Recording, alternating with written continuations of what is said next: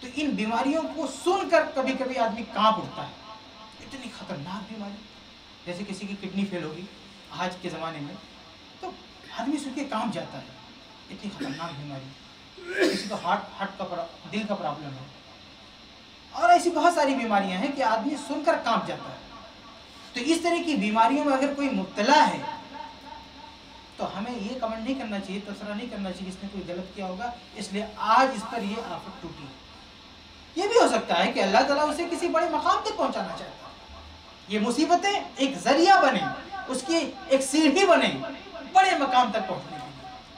اس لیے اگر کوئی جسمانی مصیبت میں مبتلا ہے، بیماری مبتلا ہے، تو ہمیں کوئی بدگمانی نہیں کرنا چاہیے اس کے بارے میں۔ صحابی رسول کے بارے میں بتاؤں میں آپ کو، عمران بن حسین رضی اللہ عنہ بڑے بزرگ صحابی ہیں۔ صحیح مسلم کی روایت ہے کہ فرشتے ان کو سلام کرتے تھے۔ اتنے بڑے بزرگ صحابی کہ فرشتے راستوں میں ان سے ان سے ملتے سلام کرتے تھے اب اندازہ کریں کہ کتنے بڑے صحابی ہوں گے، کتنے بزرگ ہوں گے، کیا مقام ہوگا ان کا کہ فرشتے ان کو سلام کریں؟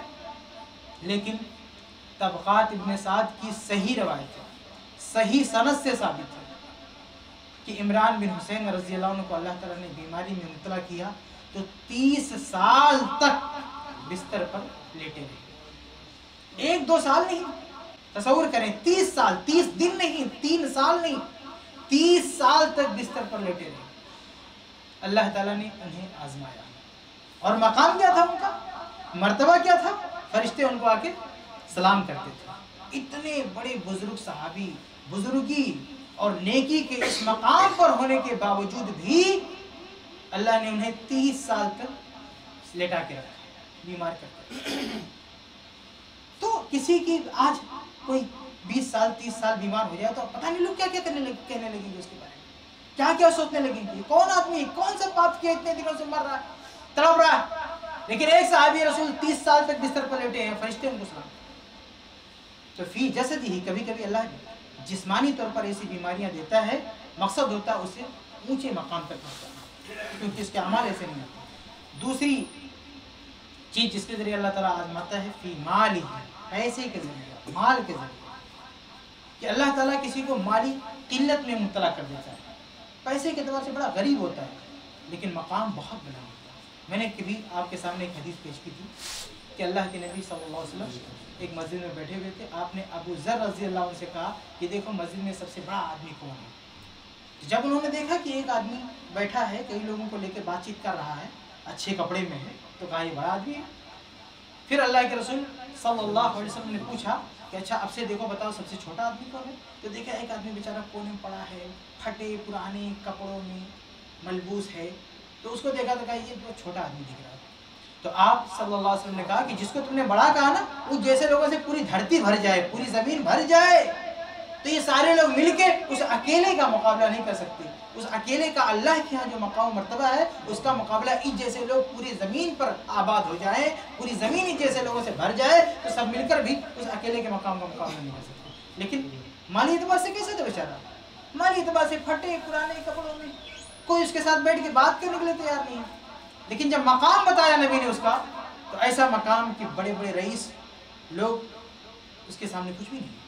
تو پھر مالی ہی اللہ کسی کو مالی مصیبت میں بھی مبتلا کرتا ہے، اس سے یہ نہیں سمجھنا چاہیے کہ آدمی بہت برا ہے۔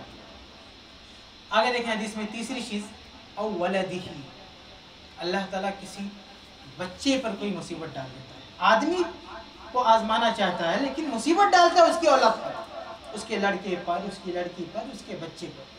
یہاں بہت سارے لوگ پریشان ہوتے ہیں۔ جب کوئی بڑا آدمی، اصل میں جو لوگ یہ بولی بولتے ہیں نا کہ جب بڑا آدمی بیمار ہوتا ہے تو کہتے ہیں کس نے کوئی پاپ کیا ہوا؟ تو پریشان ہو جاتے ہیں، جب چھوٹے بچے کو بیمار دیکھتے ہیں، خیال ہے بیماریوں میں چھوٹے چھوٹے بچوں پر آپ دیکھتے ہیں کبھی کتنی خطرناک بیماری مبتلا ہو جاتا ہے۔ آدمی کام جائے سن کر۔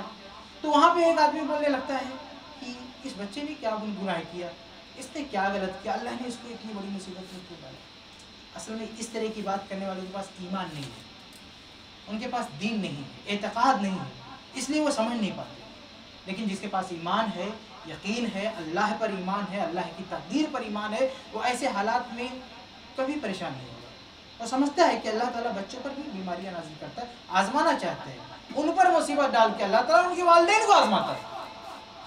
یہ حدیث ہے، او ولدہ یا اللہ اس کے بچے پر کوئی مصیبت ڈال دیتا ہے۔ اور بچے پر مصیبت ڈال کے والدین کو آزمانا محسوس ہوتا ہے۔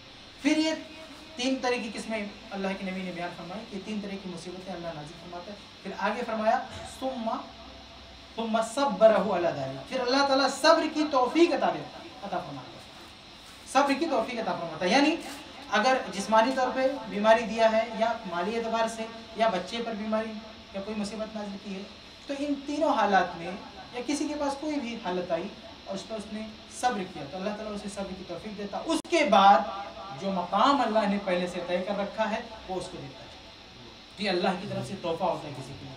کہ بڑا مقام دیتا ہے اونچے مقام پر اس کو فائز کرنا چاہتا ہے۔ لیکن اس کے اعمال بہت اچھے نہیں ہوتے، تو اللہ تعالیٰ اس ذریعے سے اس کو، اس مقام کا مستحق بناتا ہے۔